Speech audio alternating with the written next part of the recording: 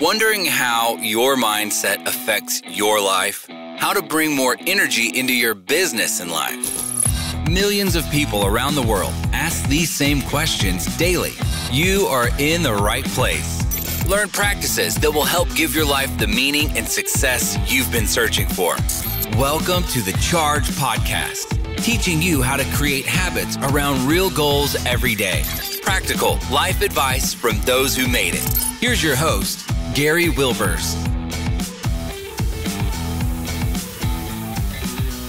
Welcome, Chargers. We're glad to have you back again this week for another great podcast.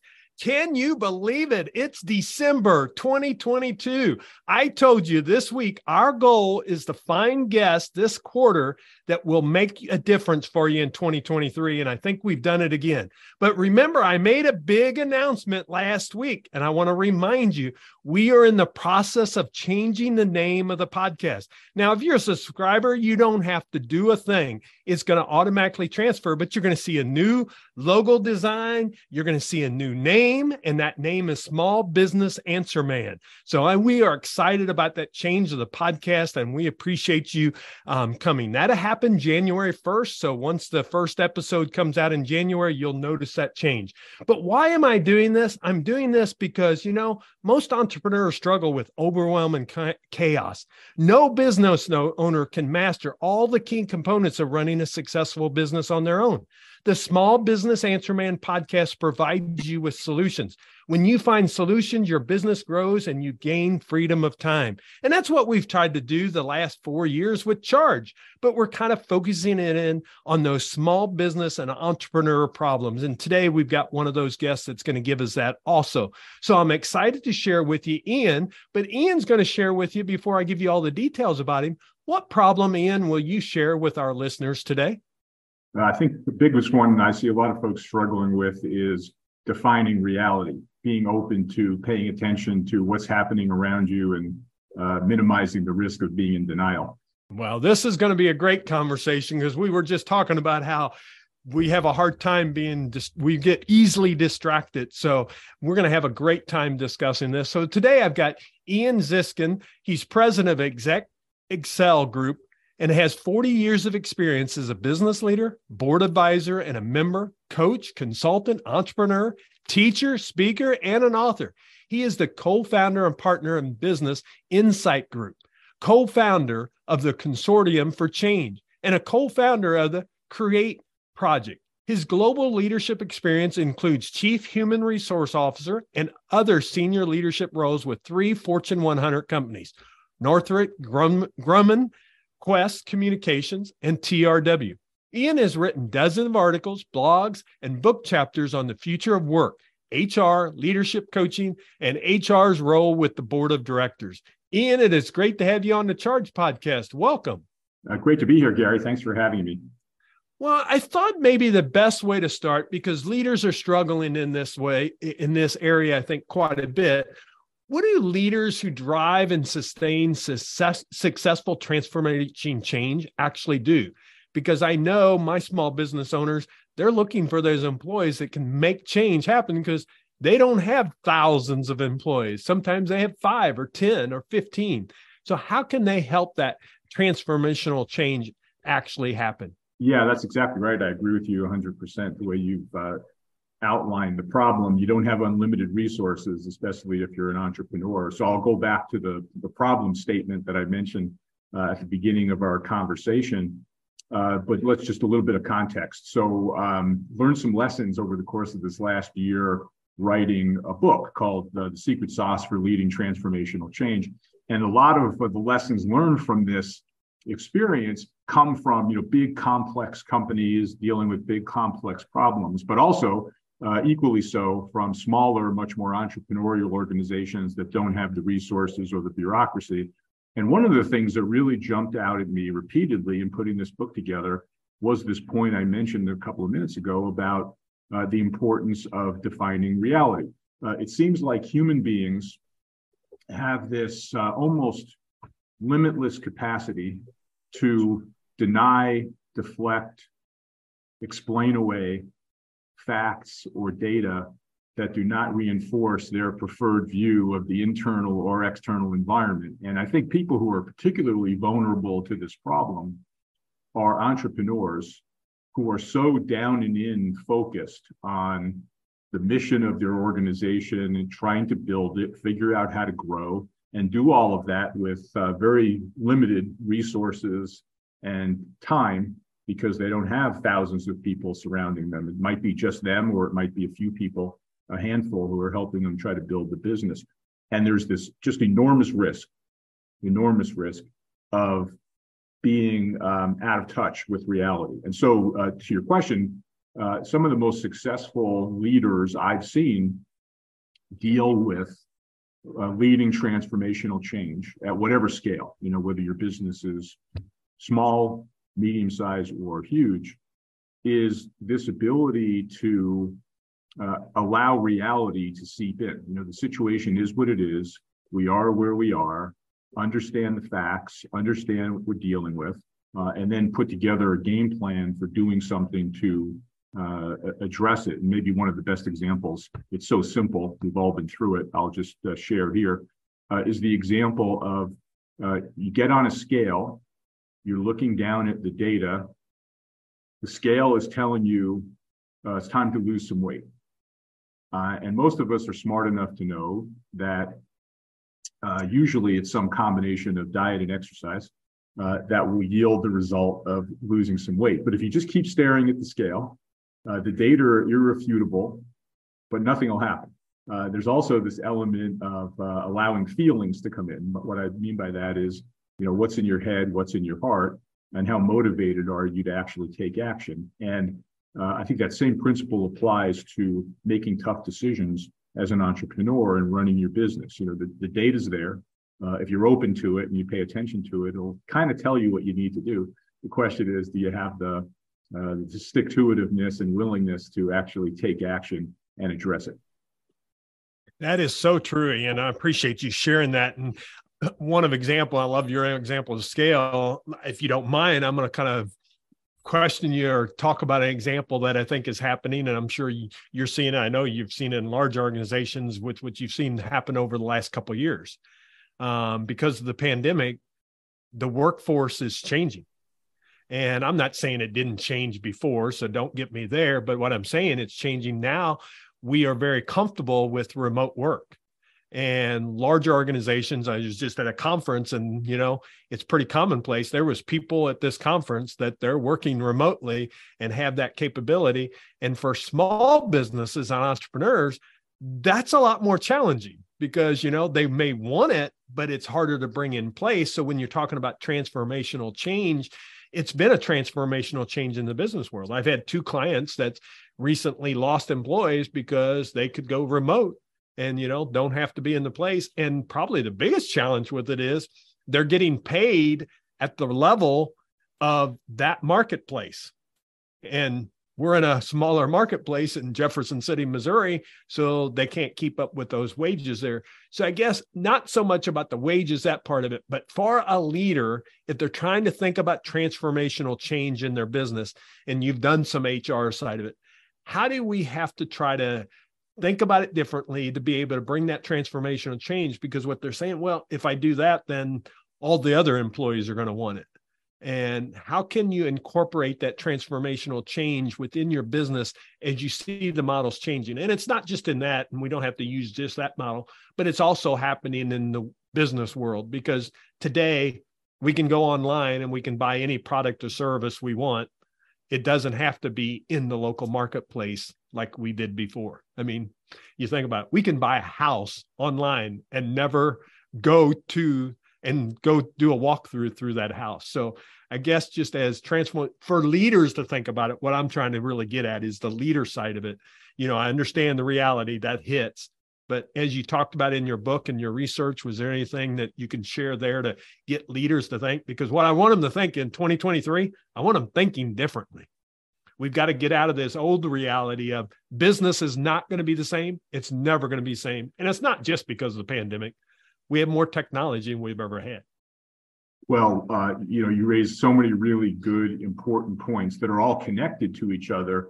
Uh, let's try to divide them into a couple of chunks because I think they're all relevant. First of all, one of the things that uh, the COVID 19 pandemic, I think, illustrated to everybody is that uh, there are a lot of things that happen to us that we're not in control of.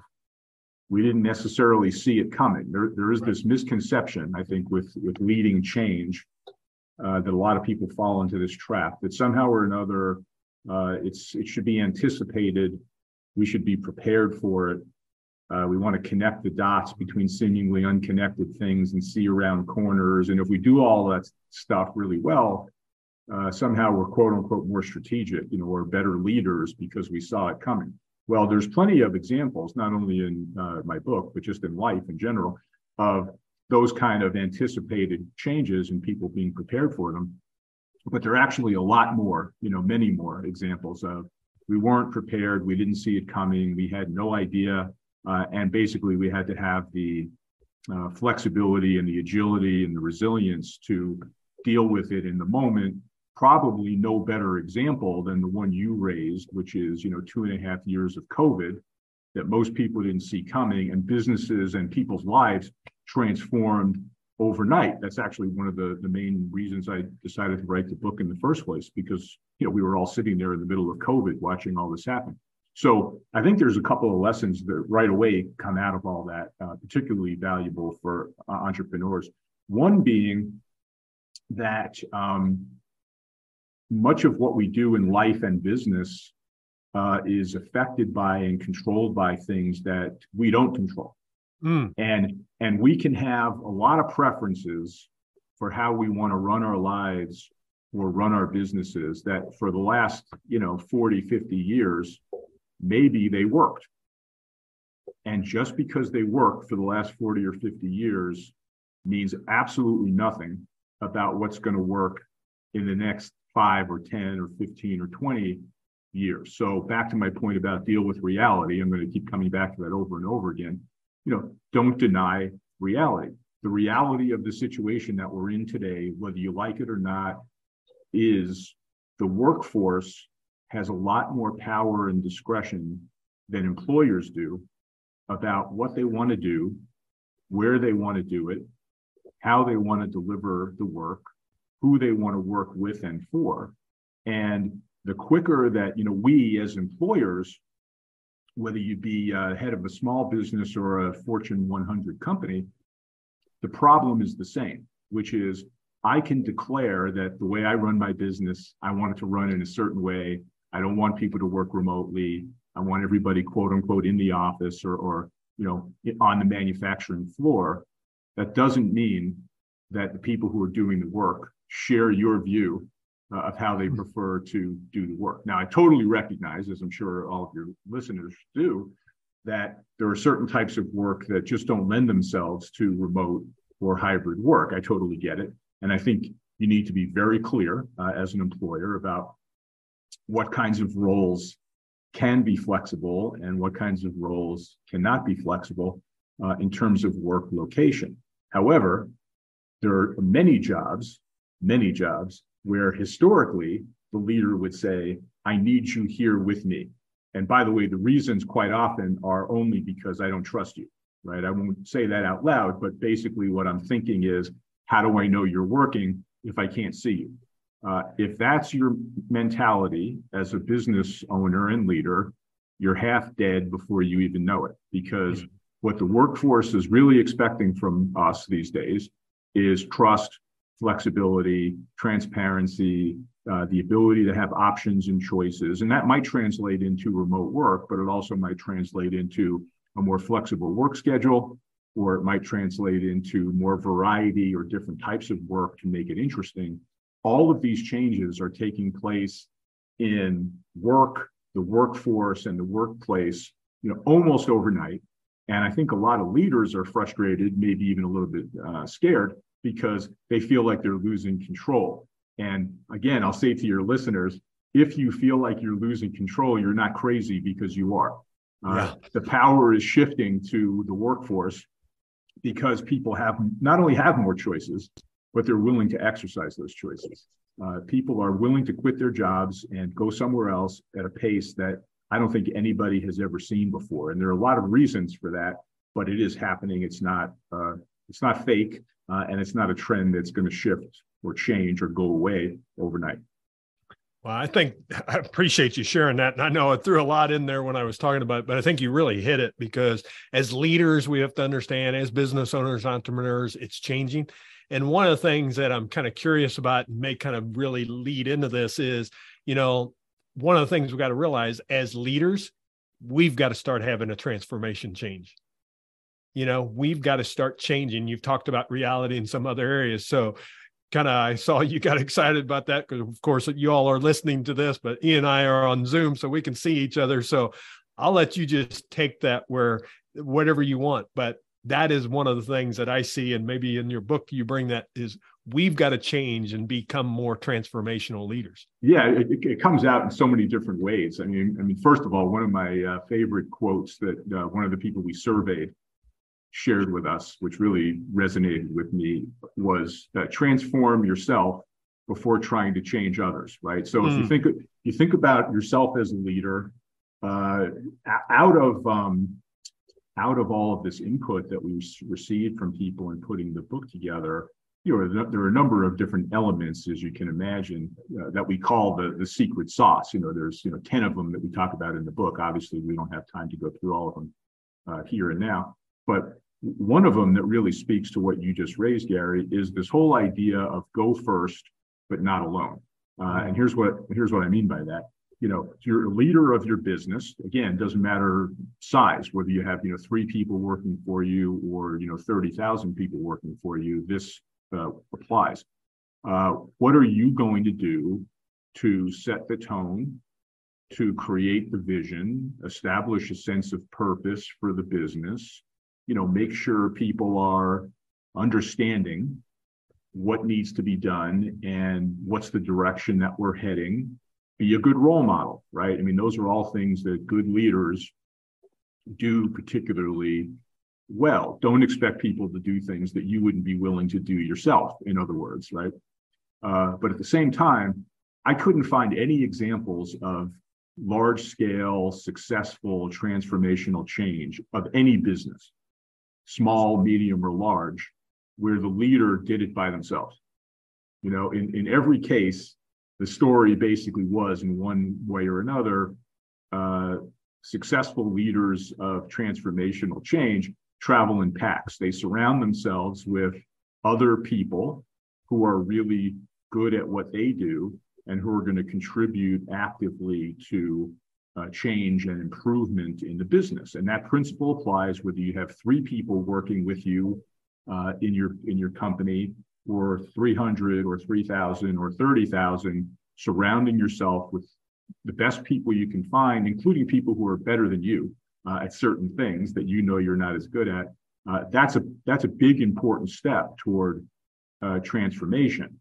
Uh, the other one that I think gets talked about a lot, but tends to get underplayed is uh, we always talk about you know the importance of communication you know when you're trying to change and improve the business and run it but usually that discussion of communication tends to get translated as talk talk talk tell tell tell you know my mm-hmm. job as the boss is to tell everybody else you know what we're trying to accomplish and what their role is in accomplishing it and what i need from them and goals and priorities and all of that, which by the way is extremely important. So I'm not diminishing the value of that, but it usually gets overplayed compared to something else, which is equally, if not more important, which is listen, listen, listen, listen. Because whether you have three employees or 300 or 3,000 or 30,000, generally those people are closer to the customer.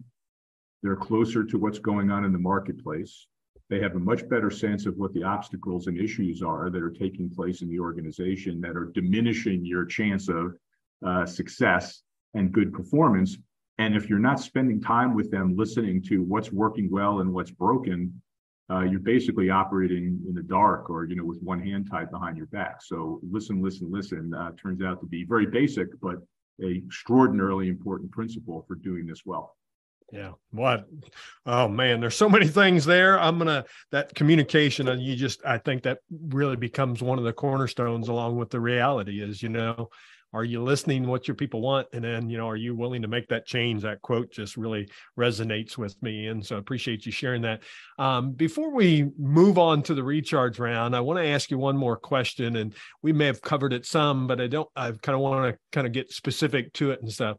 Um, i think in your book you talk about this some is all transformation is change but is all change transformational Tell yes, me what did you mean by that? that that's of the we've talked around that, but I yeah, want to get direct to that. I appreciate you, you you asking about that because it was this kind of hypothesis, if you will. You know, we were testing for in putting the book together, and, and here's kind of what we we discovered. There's a lot of things that people talk about as change, which are important and needed, but they're tweaks. They're relatively minor. They're relatively short term they're not sustained. They're very narrowly um, defined. And again, not to diminish the importance of all of those changes, but that's really not the same as uh, transformation. And so when you think about transformational change, you, the way I kind of tend to look at it is you're completely rethinking and repositioning mm. basically everything you know so the the what the why the how the when the where the who you know associated with uh, what you're trying to change which generally needs to lead to some type of dramatic improvement. And so that implies being able to measure in some way you know whether things got better or not. Uh, and then the final point is you know dramatic improvement of what? And at least uh, you know for our purposes in putting the book together, uh, it's dramatic improvement of the effectiveness, the happiness, the health, and or to the survival of someone or something. So when you think about that type of definition, there's a certain comprehensiveness to it. Uh, you know, a lot of different systems connect together. There's a, certainly a perspective of you know long-term sustainable mm. change, and there's really important distinction which is there's a big difference between doing things differently and improving them. And one of the mistakes I think a lot of leaders make, particularly a new leader that comes into a, an organization, maybe inherits, you know, some stuff uh, that's working and that's not working, is, uh, you know, I'm going to change everything at once because I'm going to show that there's a new sheriff in town. Yeah which turns out to be kind of a bad, ineffective strategy, not only because people can't really change a hundred things simultaneously and do it effectively, but also because you have no idea which of the things that you changed actually drove improvement and which ones were just a complete, you know, waste of time, a lot of hand hand waving and motion, but really made no difference one way or the other. So I would simply say uh, to, to wrap up the thought on this is you know, even though transformational change is more comprehensive, uh, do it in smaller, bite-sized, digestible chunks where you think about what's the priority of first few things we need to do, get a handle on those, get some traction, and then move on to other things rather than I believe there's a hundred things that need to be fixed. They may actually all need to be fixed, but you can't fix them all at one time. And especially if you're an entrepreneur running a relatively small business, you don't have the time or resources to fix 100 things at once. Man, Ian, I could talk to you, I think, for hours because um, I just love this topic. And I think it's one that trying to get business owners to understand it, you know, that it's one of the critical components as we move through really this decade, you know, and we're going through it quicker and all the time as we age, you know, I always say it goes faster and it seems like it is for me. We're going in 2023 and we are going to have to transform our leadership style in business. And instead of saying, well, this is the way I've always done it. And so I really appreciate your time and sharing with my audience and stuff. Please share with them one more time, and we'll have it in show notes to the name of your book. I'm sure it's on the different ways they can get it. If you have a site that you want them to go to, tell them that and share them that information because I sounds like your book is a wonderful read. Yeah, thanks. I appreciate you asking. Uh, the name of the book again is The Secret Sauce for Leading Transformational Change. And uh, the one-stop shop that people can use to go learn more about it or, or even order it if they're interested uh, is a book site, book website that we have set up. It's www.transformationalchangebook.com com. Okay, super. So please check that out. If you're one of these leaders here and you're saying, How do I do it? Like he said, he's got 10 different strategies that he's put in the book. And the thing I always tell people is a leader is a reader, a reader is a leader. So you've got to read. And I, yeah, is it available via Audible, Ian? Actually, it's just it's just being audio recorded as we speak. So in a few months, it will be available. Yeah. Now it's out on hard copy, but also yeah. in uh, ebook form. So get the hard copy, and then you're going to be able to get the audible to be able to really get because that's what I've started doing. Is I'm doing either reading it and then listening to Audible, or I'm Audible and then I'm reading it. And man, the learning it goes so much deeper. So you got to decide what works for you. I know people say, "Well, that takes a lot of time," but the thing is, you're listening to things when you're doing other things. That's you know, when I'm cutting the grass, yeah. I really, gotta, really stick, sticks with you if you can do two two different ways uh, and reinforce the the key points. Yeah. And we'll have his website in there. It's, it's exec group, E-X-E-X group.com. All that information is going to be in show notes. So remember, just go to chargepodcast.com. We're going to put all that in there. Now let's jump in. I've got two recharge round questions. I don't want to let you go yet, but the mm-hmm. first one is the mantra. I only get to ask this a couple more times because we're going to change that question up as we change the name of the podcast. But charge is the name of the podcast. It's a mantra of mine. Create habits around real goals every day. What habit do you think's led to success in your life, Ian?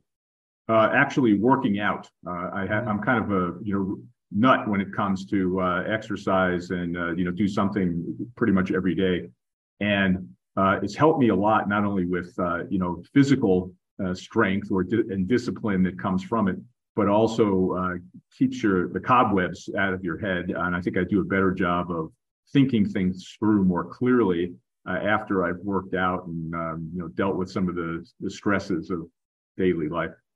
Well, I'm so glad you said that. And with us going in 2023, because we know we've got a listener here, probably more than one, that says, I need to exercise more. And I challenge I always tell people all the time is they think it's going to take more energy. It actually gives you energy. That's the thing you have to realize. And then the other thing you mentioned, and I believe in this too, because I'm the same way, it creates better creativity. So if you're one of these business owners and you're kind of can't find the solutions, start exercising. Guess what happens? I guarantee you, you'll start. I'm not saying you'll solve the solution right away, but over time, you'll be more creative. How can you handle that challenge? Yeah. And if I could just, you know, reinforce that for one second, Gary, you know, I happen to be somebody who spends a, lot of time working out and I'm very dedicated to it. But I also know plenty of people would get benefit out of just you know walking for 20 or 30 minutes. So right. you might think to yourself well, hey i'm a busy entrepreneur. I don't have time to work out two hours a day. Uh, therefore i do nothing. Uh, if you can actually just escape from where you're sitting or working and uh, go outside perhaps uh, and you know walk for 20 or 30 minutes um, it, it, it kind of changes your whole outlook to be honest. Yeah well, I appreciate you sharing that because with us going to New Year's, we need to start new habits, new disciplines that allows us to do it. The last question I have for you we've all had failures, and I always do this because I want uh, my guests to realize or my listeners to realize guess what? We've not figured it all out either. We've made mistakes, but we've overcome those because we're willing to work towards it. What would you say is a failure or a mistake that you made that if you had a do over, the old fairy came and gave you the pixie dust and said, I'll change this for you, even though we can't change the past, what would be the one thing that you would say you would do over? Yeah, I went to work for a, a wrong, bad boss uh, mm. you know, hmm. a number of years ago who kind of reputationally I knew was an extraordinarily difficult person. Uh, but I, I was probably naive enough or perhaps even arrogant enough to believe that with my advice and counsel you know, he could be that much better. Uh, and and what I learned from the experience was you can't coach DNA. You know, there are certain things that are just fundamental to another human being, no matter how good your advice is, or no matter how sincere you are in your effort to try to help somebody else. Uh, fundamentally, if they're a fundamentally flawed person, uh, you're not going to change them. And so uh, I think that, frankly, has helped me uh, in, in years since uh, make decisions about uh, who I work with, you know, whether they're a peer, whether they're a boss, whether they're somebody who, you know, works for me, um, making sure that you have good compatibility and you're well aligned in terms of values because there are certain things you're just not going to change about somebody else. Yeah. Well, thank you for sharing that. That's great advice and with working with people. Ian, share with them again to get the book. What's the website address? www.transformationalchangebook.com. Okay. And we're going to have that in show notes. So I know most of my people are not sitting there just ready to write it down. So it's in show notes. Go to chargepodcast.com.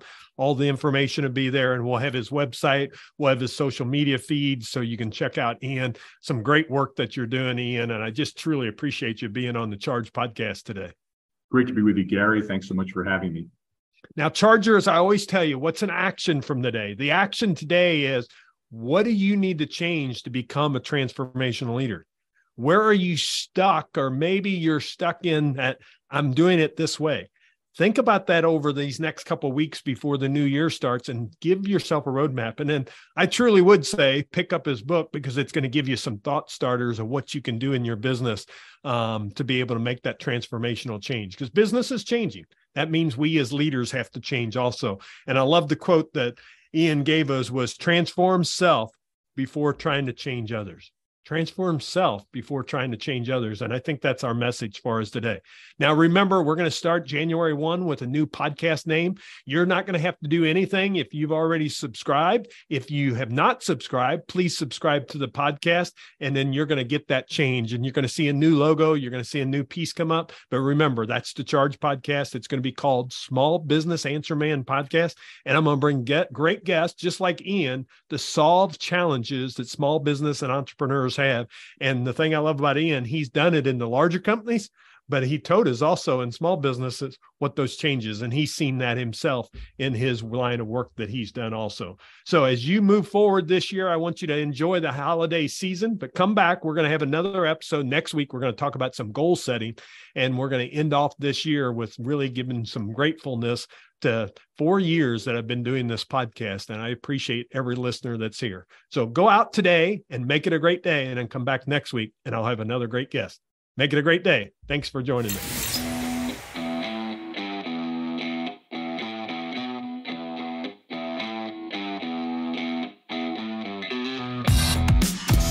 This podcast is ended, but your life doesn't just stop. To continue your inspiring journey, head over to chargepodcast.com and access all the tools and resources mentioned on today's show. If you enjoyed this episode, consider sharing with somebody who may also benefit from the advice provided. That's chargepodcast.com. Until next time, charge in business and life.